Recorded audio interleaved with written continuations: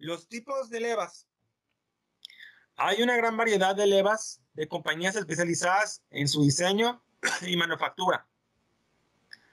Los fabricantes clasifican las levas en subcategorías y las comercializan según las diferentes aplicaciones o configuraciones.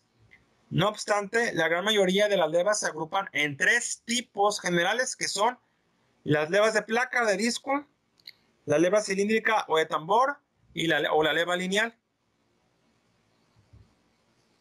Ok, aquí con el cursor estoy mostrando lo que son las levas de placa o de disco, que prácticamente es un disco, pero el disco nunca será un círculo, porque entonces no tendría caso.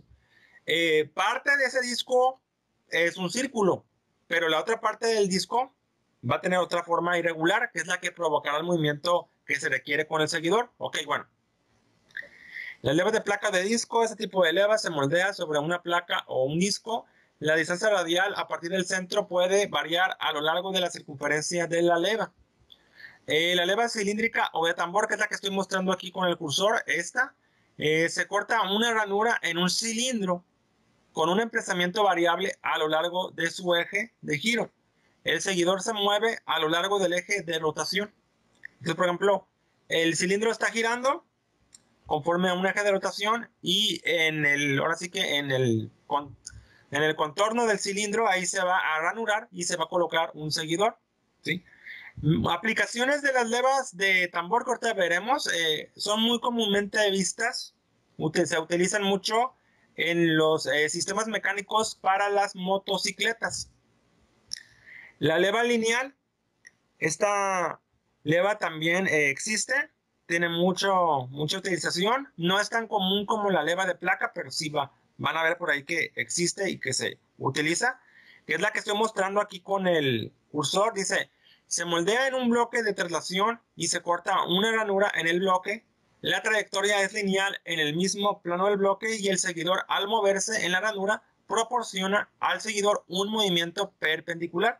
por ejemplo, aquí la, la leva lineal, que es todo este bloque, se mueve de manera horizontal, pero en, esta, en este bloque, en, este, en un plano, en una cara del bloque, eh, se va a hacer una ranura que la, aquí lo curioso del caso es que la, ranura que se va a maquinar va a tener la misma forma del diagrama de desplazamiento que se obtiene con el movimiento del seguidor. Más adelante vamos a ver lo que es el concepto del diagrama de desplazamiento, pero sí que queda muy claro que conforme a esta ranura que tenemos aquí es cuando se tiene este, este, este, vaya, este movimiento del seguidor, ¿no? Entonces, aquí lo, interesante es que si queremos tener una idea del diagrama de desplazamiento en la leva lineal, nos lo puede dar inclusive la forma de la ranura.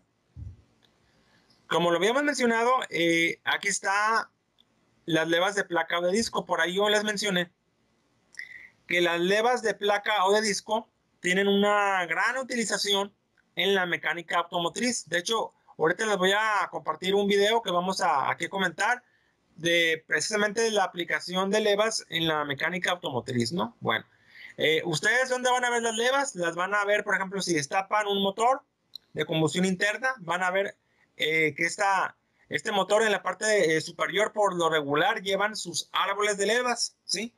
Entonces, en el árbol de levas van a ver que es, tiene, que es un eje maquinado que tiene varias levas que están maquinadas y están fabricadas eh, y están dentro del propiamente del árbol, ¿no?